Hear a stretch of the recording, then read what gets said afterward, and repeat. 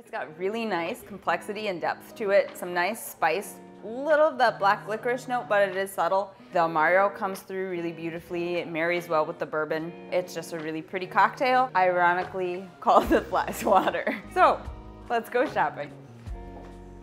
So we are going to go back to our Herbsaints. It's got those black licorice notes and we are just going to be using it as a rinse. It's not going to impart a lot of that flavor, but a little bit that's gonna give some depth and character to the cocktail without overpowering it.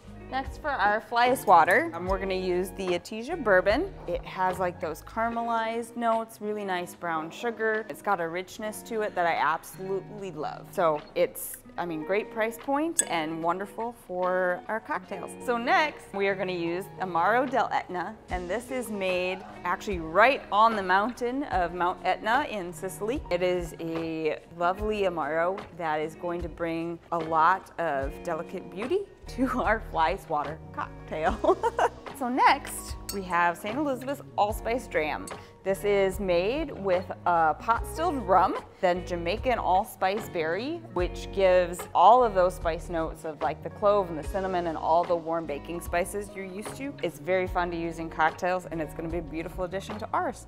All right, so now I'm gonna show you how to make our riff on a lion's tail. There's a lot of riffs on lion's tails. We called ours the fly swatter because that's what a lion's tail does.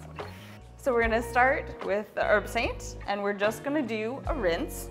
So you just need to pour a little bit into your coupe glass. And then you're gonna wanna coat the glass and then you're gonna dispose of it.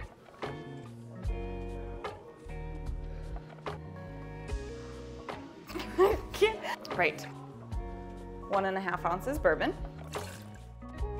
three quarters ounce Amaro, half ounce allspice, half ounce lime. What I should have grabbed though is a towel. Ice.